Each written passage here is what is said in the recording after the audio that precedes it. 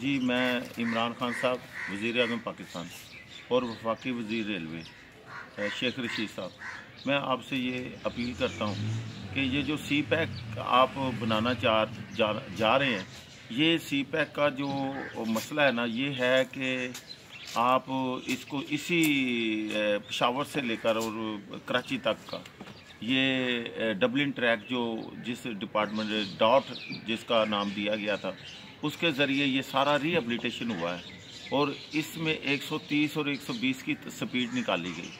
اور اس میں اب سننے میں ہے کہ اسی ٹریک کے اوپر ہی ایک سو اسی اور ایک سو نوے کا ٹریک جو نا بچھایا جائے گا سی پیک کے ذریعے۔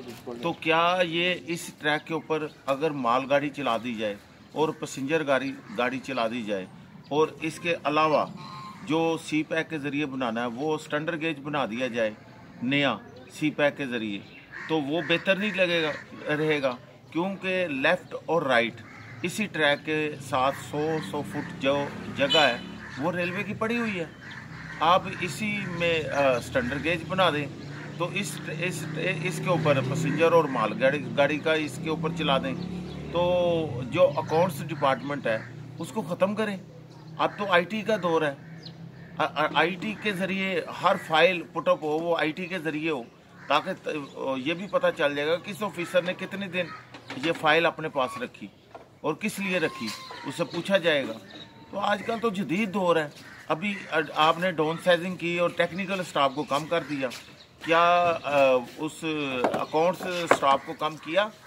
اب اس وقت ستارہ سکیل کے پاکستان ریلوے میں آفیسران جو ریل چلاتے ہیں، ان سے زیادہ اکاؤنٹس ڈپارٹمنٹ ہے۔ اگر دو سو پوسٹ ہے نا ستارہ کی، اور اس میں ڈھائی سو جو ہیں وہ ستارہ کے اکاؤنٹس ڈپارٹمنٹ ہے بندہ، آپ یہ ذرا بتائیں کہ کیا اکاؤنٹس ڈپارٹمنٹ گاڑی چلاتا ہے؟ ڈپارٹمنٹ ڈپارٹمنٹ تو ٹیکنیکل سٹاف جو ہے گاڑی چلاتا ہے۔ حتیٰ کہ آپ کو ٹیکنیکل سٹاف کو مرادات دینی چاہیے۔ ٹیکنیکل سٹاف کو زیادہ سپورٹ کرنا چاہیے۔ آپ نے ڈون سائزنگ کر کے ان کو کم کر دیا۔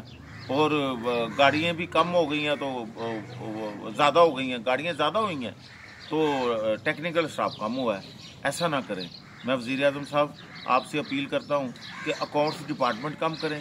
اور پاکستان ریلوے میں اے سی آر جو نظام تھا، جس سے آفیسران کی پروموشن ہوتی تھی سکل کا پتہ چلتا تھا کہ کون سا آفیسر کتنی ابیلٹی رکھتا ہے کام کرنے میں۔ اب تو ایسے آفیسر ہیں کہ تین تین ماہ فائل ان کے پاس پڑی رہتی ہے اور وہ ان کے پاس ڈسیزن نہیں ہے۔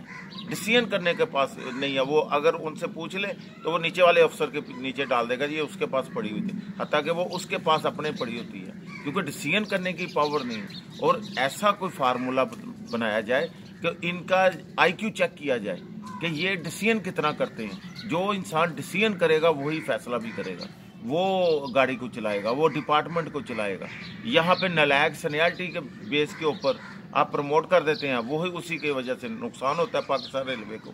میری جناب سے اپیل ہے کہ یہاں ٹیکنیکل سٹاف ہے اور ٹیکنیکل ول اور سکل کا ہونا چاہیے۔ شکریہ۔